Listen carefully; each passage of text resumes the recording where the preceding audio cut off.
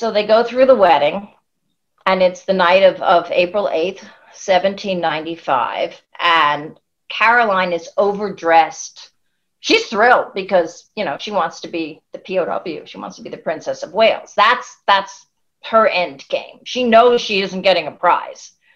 Neither does George. George is absolutely drunk. George started drinking that brandy from the minute he said, Harris, get me a glass of, I'm not well, get me a glass of brandy. He didn't stop for three days. He has to be literally supported by two unmarried dukes as he goes down the aisle. And at one point, he looks like he is literally going to vomit. This is what onlookers at the wedding noted in their diaries. And that could have been the brandy, it could have been Caroline. Caroline is overdressed in silver tissue lace with bows and sparkles all over the place. She's bedazzled.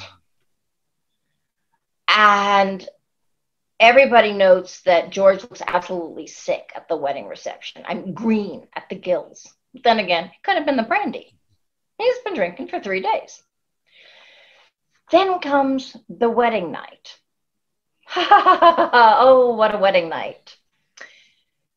Somehow, George manages to do his duty twice and then passes out in the grate by the fireplace, by the mantelpiece.